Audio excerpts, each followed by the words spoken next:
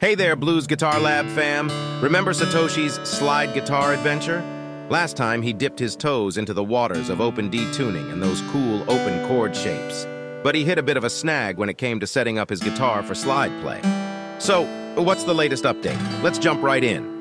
Originally, Satoshi started off with his electric guitar, but soon he felt the magnetic pull of the acoustic for that classic slide sound.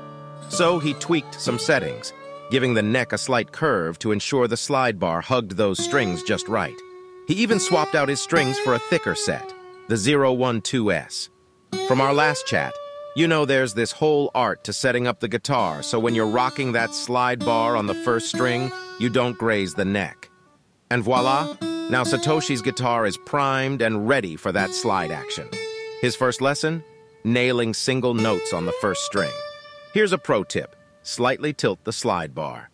Oh, and Satoshi decided on using his pinky for the slide after some back and forth. Initially, he leaned towards the ring finger, but a wise old master recommended the pinky to free up the other digits. Hey, always trust the master, right? Now let's talk technique. You've got to get the slide bar right over the fret. Unlike traditional playing, it's a game of precision. Once you hit your note, spice it up with some vibrato. It's the slide guitar's signature move. And here's another trick. Mute unwanted string noise from the neck side using your spare fingers. Oh, and if you're playing in open D tuning, resist the urge to mute every string with your right hand. Let some of those strings sing.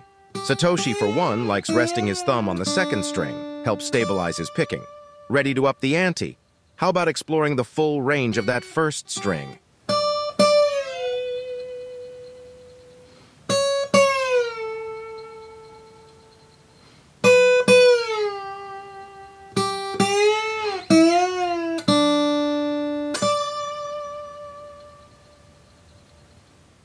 Next up, Satoshi dabbled in staccato. That's playing those notes sharp and snappy. The trick? Mute the string immediately after striking it, mainly using the index finger. Otherwise, you'll get that open string ringing. Slide hammer-ons and pull-offs were also on the menu. For pull-offs, just lift the slide off the string. Simple. Hammer-ons?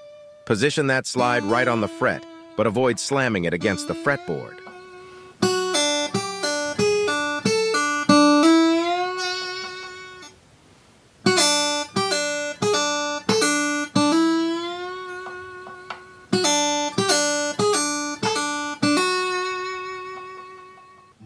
Satoshi then jammed to a pattern, blending slide notes on the first string with open string tones.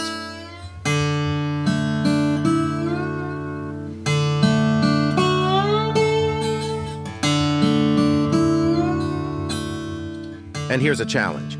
Try covering all the strings with the slide.